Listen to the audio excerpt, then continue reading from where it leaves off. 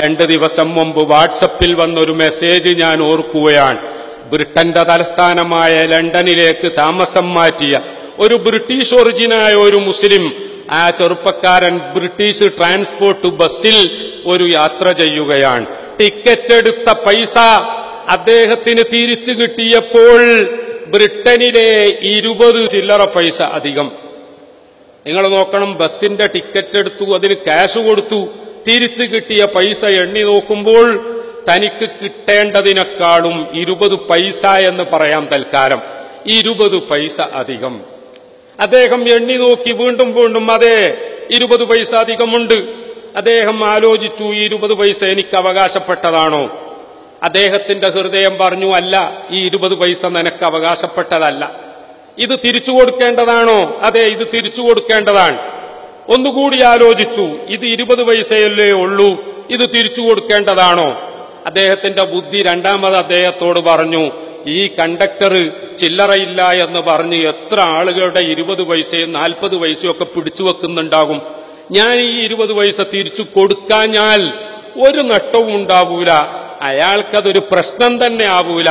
അതുകൊണ്ടായിരിക്കാം എന്നോട് ഇരുപത് പൈസ അയാൾ ചോദിക്കാഞ്ഞത് എന്ന് പറഞ്ഞുകൊണ്ട് ആ പൈസ തൽക്കാലം കയ്യിൽ അവിടെ പിടിച്ചു. ബസ് മുന്നോട്ട് നീങ്ങി. ഇദ്ദേഹത്തിന് ഇറങ്ങേണ്ട സ്റ്റോപ്പിലെത്തുമ്പോൾ ഇദ്ദേഹം ഇറങ്ങാൻ എഴുന്നേറ്റു. പക്ഷേ മനസാക്ഷി അനുവദിച്ചില്ല. ആ ഇരുപത് പൈസ കണ്ടക്ടറുടെ കയ്യിൽ കൊടുത്തു. ഇതാ ഇത് എനിക്ക് അവകാശപ്പെടാത്തതാണ്. ഇത് അധികപ്പറ്റാൻ. ഇത് നിങ്ങൾ തിരിച്ചു വാങ്ങണമെന്ന് പറഞ്ഞപ്പോൾ ആ കണ്ടക്ടർ ഈ യാത്രക്കാരന്റെ മുഖത്തേക്ക് നോക്കിക്കൊണ്ട് പറയുകയാണ് ഈ ബ്രിട്ടനിലെ മാഞ്ചസ്റ്ററിൽ ഈ പ്രത്യേക സ്ഥലത്ത് ഒരു മുസ്ലിം ചെറുപ്പക്കാരൻ വന്നിട്ടുണ്ട് എന്ന് എന്നോട് പലരും പറഞ്ഞു. ആ മുസ്ലിം ചെറുപ്പക്കാരൻ അവരൊക്കെ പറഞ്ഞതുപോലെ യഥാർത്ഥ മുസ്ലിം തന്നെയാണോ എന്ന് പരീക്ഷിക്കാൻ വേണ്ടി മനഃപൂർവം ഇരുപത് പൈസ ഞാൻ അധികം തന്നത് തന്നെയാണ്. ഇപ്പോഴെനിക്ക് മനസ്സിലായി നിങ്ങളുടെ ഇസ്ലാം നബിമാരോട് പോലും വളരെ കൃത്യമായി നിയമം പാലിക്കണം എന്ന് പറഞ്ഞ മതമാണ്.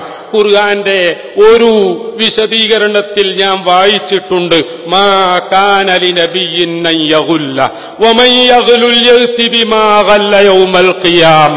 ഒരു ചെരുപ്പിന്റെ വാറ് അല്ലെങ്കിൽ ഒരു തയ്യൽ മെഷീന്റെ സൂചി അല്ലെങ്കിൽ ഒരു ഷർട്ടിന്റെ ബട്ടൺ ഇതുപോലും അനർഹമായി എടുക്കാൻ പാടില്ല എന്ന് വളരെ കർശനമായ നിർദ്ദേശം നൽകുന്ന മതമാണ് നിങ്ങളുടെ മതമെന്ന് ഞാൻ മനസ്സിലാക്കിയിട്ടുണ്ട്. അത് ഇന്ന് എനിക്ക് അനുഭവപ്പെട്ടു. ആ ബസ്സിൽ നിന്നിറങ്ങിയ ചെറുപ്പക്കാരൻ ചിന്തിക്കുകയാണ് ദൈവമേ ഇരുപത് പൈസക്ക് ഞാൻ എന്റെ മതത്തെ വിൽക്കുമായിരുന്നുവല്ലോ. അൽഹംദുലില്ലാ ആ ഇരുപത് പൈസ തിരിച്ചു കൊടുക്കാൻ തോന്നിയതുകൊണ്ട് ഞാനല്ല രക്ഷപ്പെട്ടത്. എന്റെ മതമാണ് രക്ഷപ്പെട്ടത്. പടച്ചവനെ എന്റെ മതത്തിന് കൂടുതൽ ശക്തി പകരുന്ന പ്രവർത്തനങ്ങൾ ചെയ്യാൻ എനിക്ക് ഇനിയും ഇനിയും തൗഫീക്ക് നൽകണമേ എന്ന് പ്രാർത്ഥിച്ചുകൊണ്ടാണ് അദ്ദേഹം തന്റെ വീട്ടിലേക്ക് പോകുന്നത്.